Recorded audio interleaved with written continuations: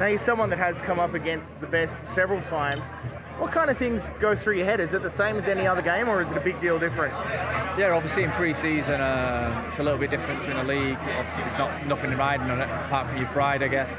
You know, as players, I think we obviously we're looking to test ourselves and, and you know see where we are fitness-wise, technically-wise against you know some of the best players in the world, and you know hopefully give our give a good account of ourselves and obviously of Australian football as well.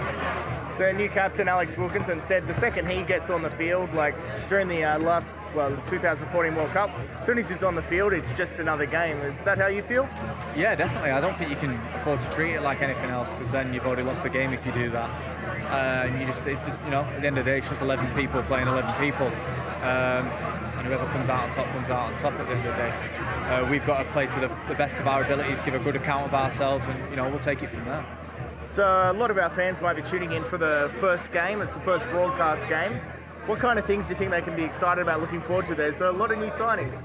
Yeah, of course. You know, uh, I'm sure they'll look forward to us defending. Um, you know, we're obviously going to try and give a great account of ourselves against you know a great team.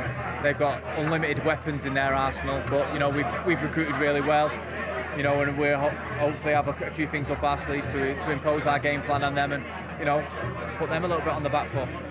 So a good chance for Ryan McGowan to show why he went to the 2014 World Cup. Yeah, definitely. You know, uh, Gal's just come in so far. He's been brilliant. Uh, he's a top lad, and I think you see his quality so far. And obviously, he's going to get uh, tested in, in, in, China against PSG as well. And you and your new striking partner both got on the uh, sheet in the uh, the previous trial. That's a nice thing.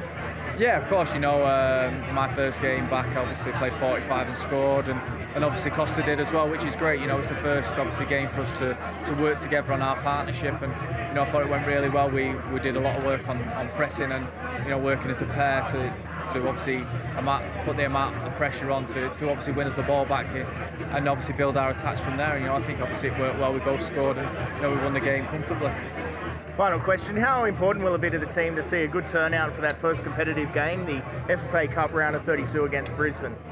Yeah, of course, it'd be great. You know, the fans are always fantastic and turn out for the, for the games for us. And, you know, obviously we want to put on a good show for them. But obviously, if they're there cheering us on with, the, you know, obviously the Cove, it, it's it's a great sight and the atmosphere is always uh, uh, intimidating, especially at, at Leichhardt. Thanks for your time. Enjoy China. Cheers, thank you.